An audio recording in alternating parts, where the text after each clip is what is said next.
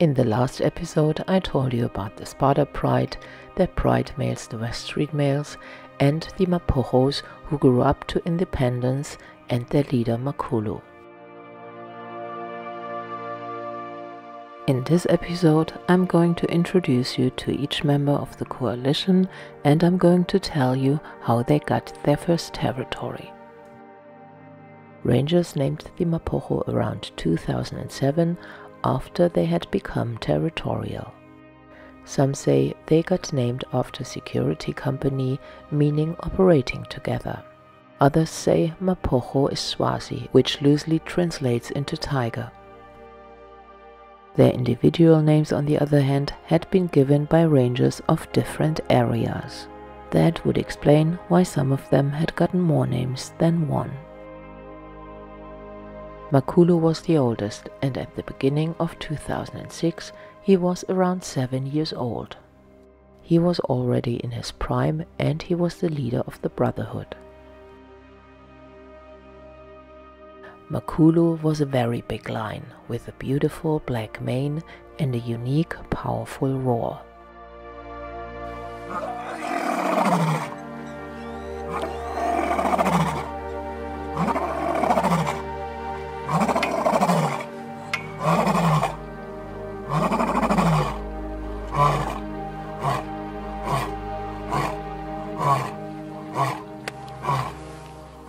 Rangers described him as a big, magnificent lion.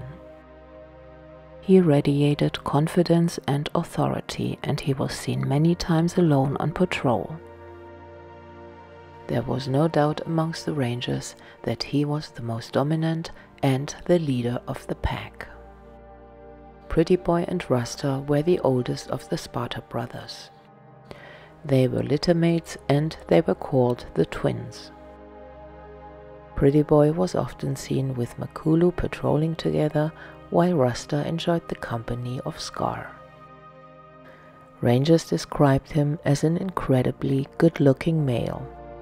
However, Pretty Boy was a fighter and he survived a couple of fights with other lions. He suffered some serious injuries in those fights, but he always pulled the strength to recover from it. One of these injuries left a deformation of the spine, and that's why rangers called him later in life Bent Spine. Another name he had gotten from other rangers was Leonidas. He was Makulu's closest companion, and the bond they shared would last until their final days. His littermate Rasta enjoyed the company of Scar, aka Dreadlocks. They went together on patrol and they were seen many times lying next to each other. Rasta got his name from something that had been caught in his mane. Some knots in the mane under his chin had formed a kind of dreadlock. And rangers used this feature for identification. Scar, who was also called Dreadlocks, was a huge lion as well, and he had a magnificent mane. He had a distinctive scar on his hip, and the tip of his tail was not as fluffy as the others.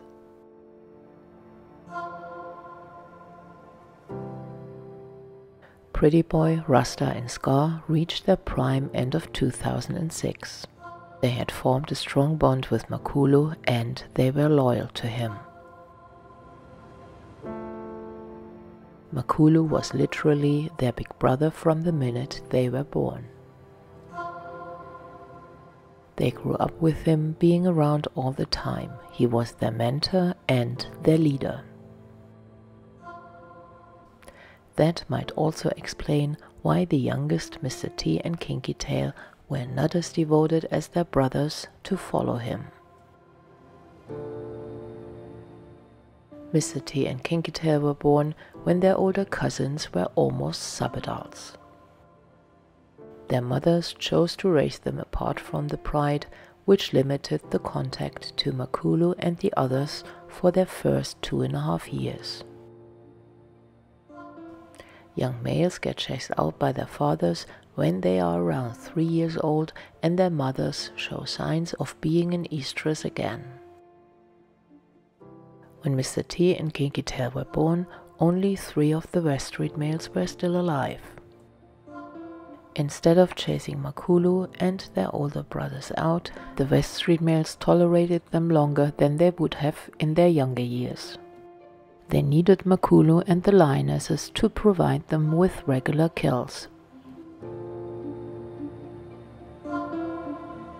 Even if a male lion is too old to provide for himself, he still can scent mark and roar, which keeps rivals at bay. The presence of the West Street males made it possible for Mr. T and Kinky Tail to grow up safely, and their older cousins stuck around longer than usual.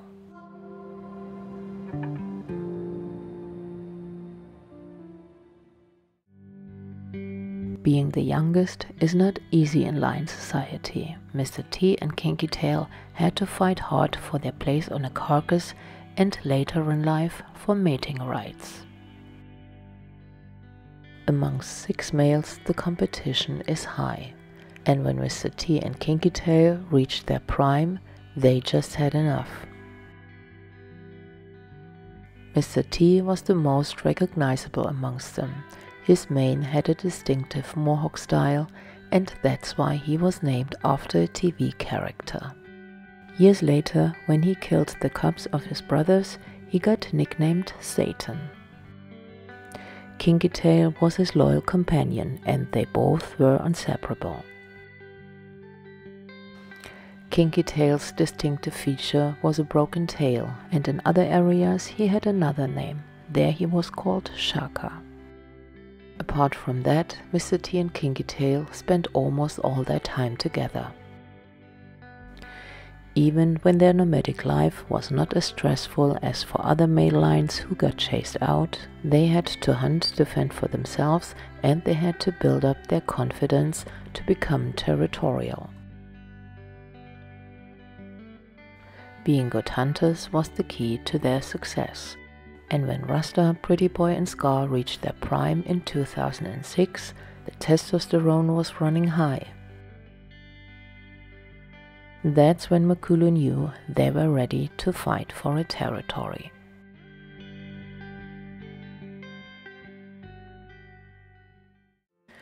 In 2006, 11 lion prides called Sabi Sand their home. At the time, nine males divided by six coalitions were dominant in the area.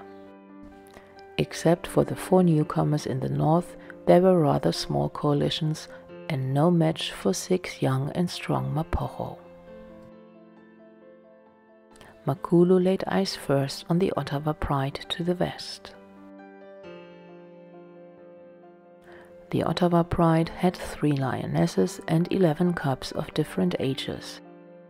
Their protector was a single male named Nhlanguleni. He was also dominant over the two lionesses of the Sand River Pride who had no cubs at the time. In the evening hours of June 9, 2006, Makulu left his brothers and went after Nhlanguleni.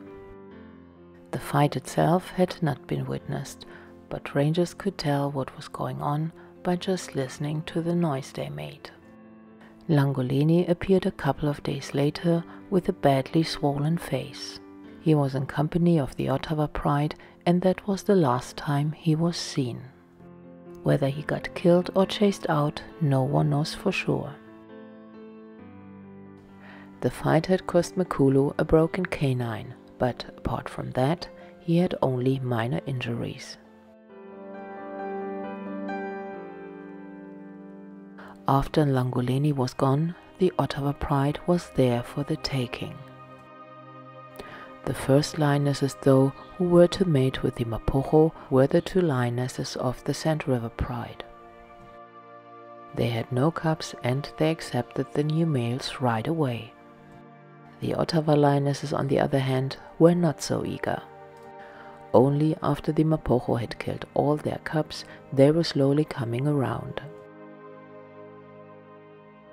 Fighting amongst the brothers for mating rights is very common and Makulu usually was the first to claim a lioness in estrus. The estrus cycle of a lioness lasts about a week. That gives the lioness the opportunity to mate with his brothers and to make sure that the offspring will be acknowledged by each member of the coalition. A male that didn't mate with her poses a higher risk for the survival of her cubs. That happened with the first litters the Othawa lionesses gave birth to. Those cubs were killed by Makulu's companions. Luckily, it takes more than one cycle for a lioness to get pregnant. Her estrus cycle repeats every three weeks, and that ensures that she has the chance to mate with every member of the coalition and make them think they are the fathers.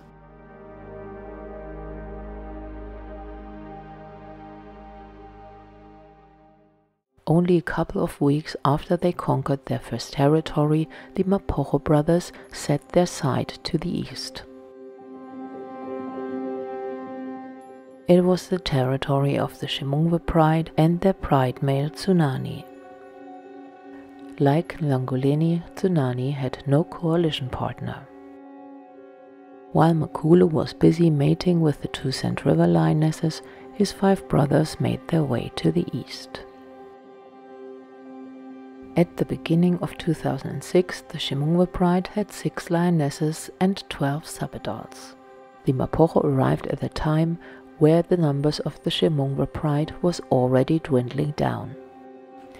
They just had lost four subadults when park officials ordered to take them down after they saw them feeding on a dog carcass which had been tested positive for rabies. In addition to that, some of the older Pride members suffered from TB. When the Mapogo arrived, the downward spiral accelerated. Dzunani immediately realized when the Mapogo entered his territory.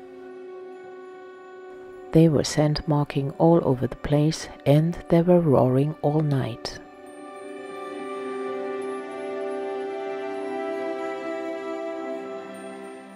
Dzunani roared back even though he knew he was up against five males. Later that night, they found him on his last territorial patrol. The next morning, rangers reported they had found Dzunani. He hadn't survived the attack.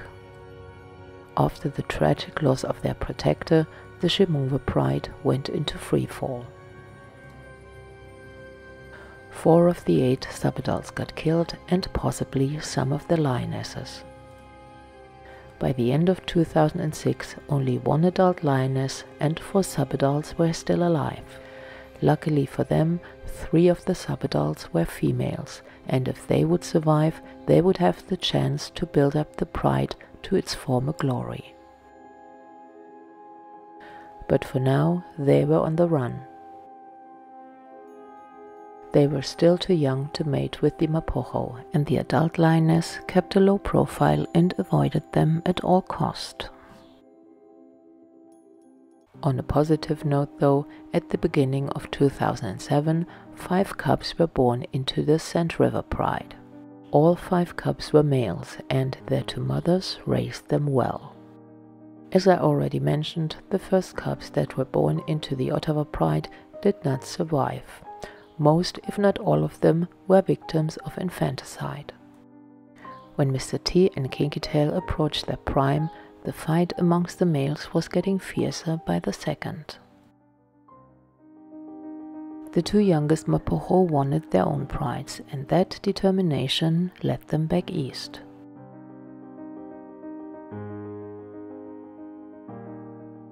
In terms of line dynamics, 2006 and 2007 were rocky, to say the least.